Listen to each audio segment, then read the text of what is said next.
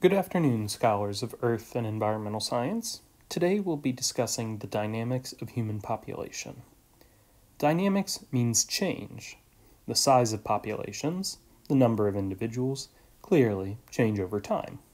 Populations increase when more organisms are born and decrease when they die. New organisms can also move in and out of an area, changing the population depending on how you account for it. Life has an interesting characteristic in that it can reproduce exponentially. In asexually reproducing species, like bacteria, they split apart so that one can make two, two can make four, four can make eight, and so on, doubling with every generation. Even sexually reproducing organisms follow similar patterns. In very rare cases can populations continue to grow exponentially. Factors limit the extent to which a population can grow. For example, the amount of sunlight, water, and minerals. In addition, for some organisms, as their population density increases, they are more susceptible to disease.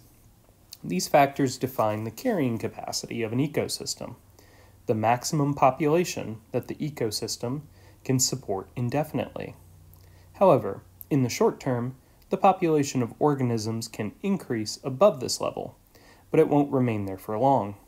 Eventually, the population will run out of resources and begin to decline.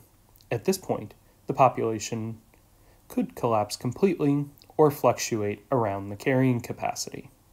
Competition for these limited resources between or within species could decrease this carrying capacity further. Here is a graph of the world human population over time. It wasn't until around 1800 that the population reached a billion. On the right side, you can see the dates when the population reached the next billion. So, with the concept of carrying capacity in mind, you might think a natural conclusion to this would be an upcoming crash in the human population. This is what Thomas Malthus thought. He was the man depicted on the first slide. The population would overshoot its ability to produce food. Mass starvation would then ensue, leading to miserable living conditions. Was Malthus right? Not really. The rise of industrial capitalism in the early 1800s changed the ballgame entirely.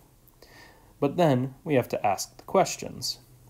How did the human population skyrocket to such an extent? And how will our population change in the future? Let's examine the factors which influence our population growth and carrying capacity.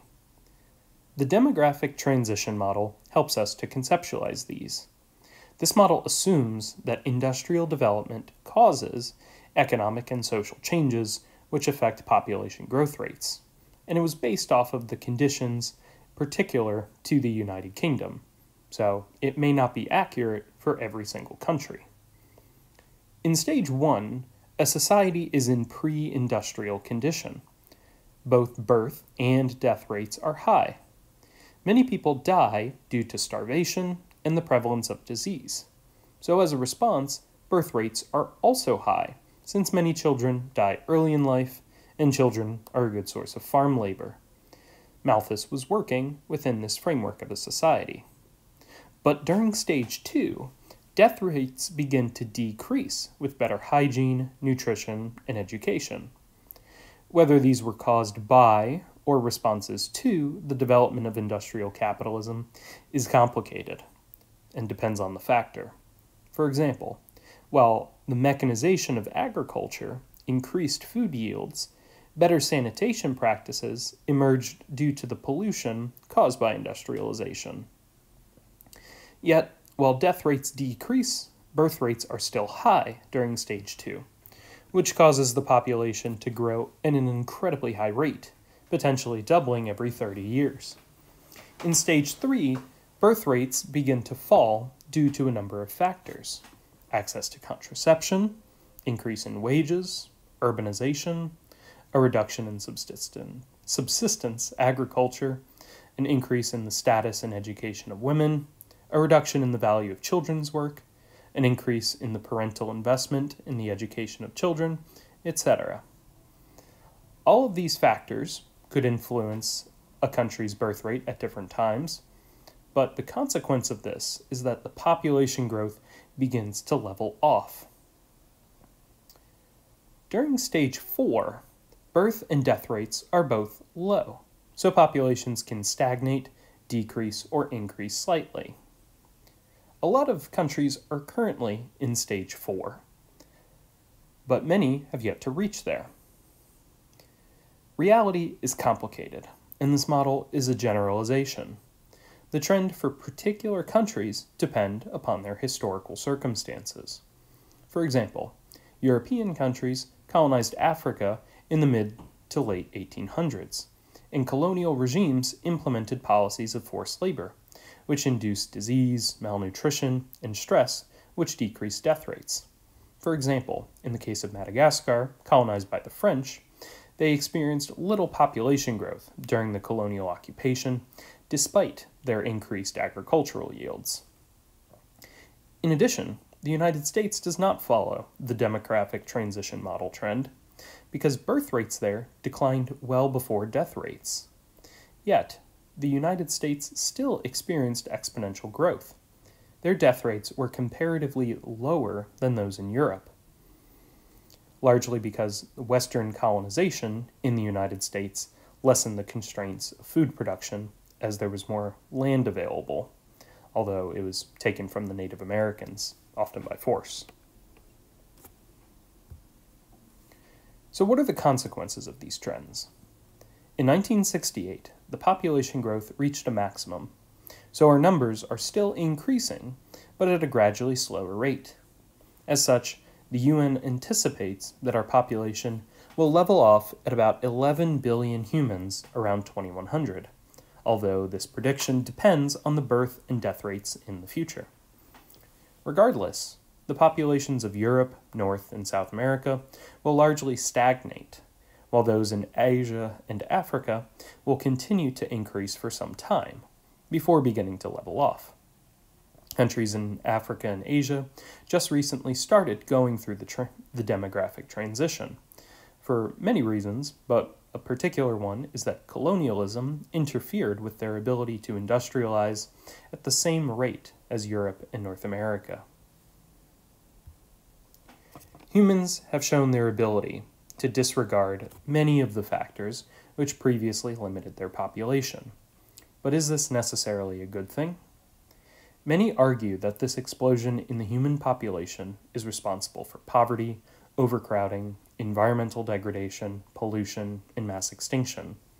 There's an alluring logic to this line of thinking. For example, more people means they need more space for houses, so they develop more land, which destroys local habitats. Or more people means fewer resources and jobs to go around, so there will be more and more poverty. The endpoint of the overpopulation viewpoint argues for population control through preventing pregnancies. These solutions are ethically dicey and potentially ineffective at addressing the problems at hand. These methods subordinate women's bodies and reproductive rights toward the ends of sustainability. When using the ends to justify the means, great atrocities can be committed, particularly on vulnerable or minority populations. For example, in India during the 1970s and 1980s, their states embraced policies which withheld food, water, and medical care from people unless they became sterilized, and students could be expelled from school if their parents weren't, weren't sterilized. Around the world, millions of people in the global south have had their reproductive rights put into jeopardy for the sake of stemming population growth. However, it's important to note that the richest 10% of the world emit 175 times more carbon than the bottom 10% in the world. Passing the blame for the ills of the world onto poor, developing countries is unfair and doesn't address the root environmental problems. Sustainable economic practices, environmental conservation, and investment in clean energy and infrastructure would be much more effective at combating climate change, mass extinction, and economic inequality. Human population dynamics is a complicated and controversial issue. But when creating public policy, it's important to work within an ethical framework of care for both people and the environment. That's all I have for today about human population. Have a good day.